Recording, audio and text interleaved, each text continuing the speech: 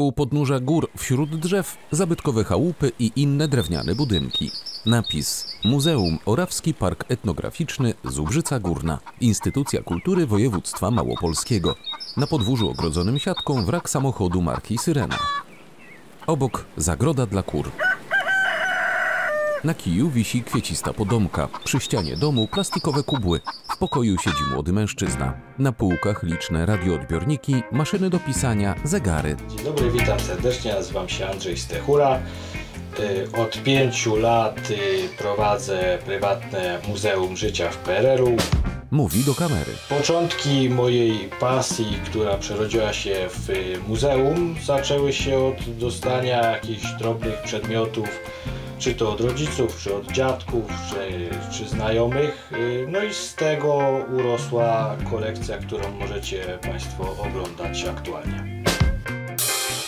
Moje muzeum mieści się w Kiczorach. To jest niewielka wieś u podnóży Babiej Góry. W mojej kolekcji znajdują się przedmioty głównie życia codziennego w PRL-u. Y, Są to rowery, różnego rodzaju odkurzacze, pralki, radia, y, a także wyposażenie mieszkania. Pokojach wystawowych y, mieszczą się przedmioty, które za czasów PRL-u służyły ludziom na co dzień, takie jak radia, gramofony, gramofony walizkowe, pralki, odkurzacze, telewizory i wiele innych rzeczy. Y, Następnie wchodzimy do mieszkania, które starałem się odwzorować jak najdokładniej umiałem, żeby oddawało klimat lat 70., 80. Otworzyłem kuchnię, w której znajdują się kultowe już teraz y, przedmioty codziennego użytku, takie jak y, kuchenka, nowy czajnik, który pochodzi z lat 80., miksery, rożna, y, talerze z fajansu włocławskiego i jest tam też ciekawa umywalka, która nie potrzebuje dostępu do wody. Na podłodze stoją buty Relax. Z kuchni przechodzimy do dużego pokoju, tak zwanego. W dużym pokoju mieści się telewizor, radio, kredens, tapczan. Wyposażenie, które większość ludzi posiadała w latach 70., 80. Możemy zobaczyć y, choinkę. Próbowałem odwzorować klimat świąt z tamtych czasów. Choinka jest y, unikatem, jest fabrycznie nowa z 71 roku. No i na niej znajdują się bombki wyprodukowane też w latach 70. czy 80. No dalej patrząc y, widzimy paczki papierosów, y, zapałki, to są nowe przedmioty, papier toaletowy, który też jest nigdy nieużywany. Na półce kilka rolek papieru.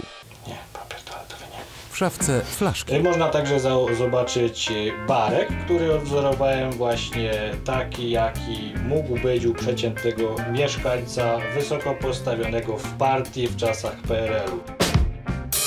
Zamiłowanie do historii w naszej rodzinie jest praktycznie od zawsze, począwszy od mojego dziadka czy taty, którzy interesowali się historią, też zbierali jakieś y, eksponaty, które znajdowali, y, czy nawet używali. No a u mnie pasja jakby zrodziła się właśnie z miłości do naprawiania starych rzeczy, do odrestaurowywania. Ulubioną rzeczą znajdującą się w mojej kolekcji jest radio, z którym mam ogromny sentyment, ponieważ dostałem go od mojego taty, który to z kolei kupił go za pierwszą wypłatę w swoim życiu, także jeśli bym miał powiedzieć, co jest dla mnie takie najważniejsze w kolekcji, no to jest to ogromnie sentymentalna dla mnie rzecz, to radio. Rzeczą, która jest y, jakby moim oczkiem w głowie jest to rower, który jest y, eksportową wersją Wigry. Chodziłem za nim bardzo długo, chciałem mieć taki egzemplarz. y, No jeśli już się pojawił w mojej kolekcji, to był strasznie zdezolowany i naprawdę według mnie nie opłacało się go robić, aczkolwiek no to zawsze było moje marzenie i dzisiaj możecie go oglądać. Nie zaginął gdzieś na złomie. Orawski Park Etnograficzny. Widok z lotu ptaka. Część moich przedmiotów znajdzie się na wystawie czasowej w Muzeum w Zubrzycy. Gorąco zachęcam do obejrzenia tej wystawy, jak i całego muzeum. Andrzej Stechura. Plansza z napisem Kolekcjoner codzienności Muzeum Domowe PRL Andrzeja Stechury. Wystawa czasowa. Otwarcie 28 lipca 2024 roku w 22 Święto Borówki. Biała karczma z Podwilka w Muzeum Orawskim Parku Etnograficznym w Zubrzycy Górnej. Wystąpił Andrzej Stechura. Kamera i montaż Leszek Janiszewski.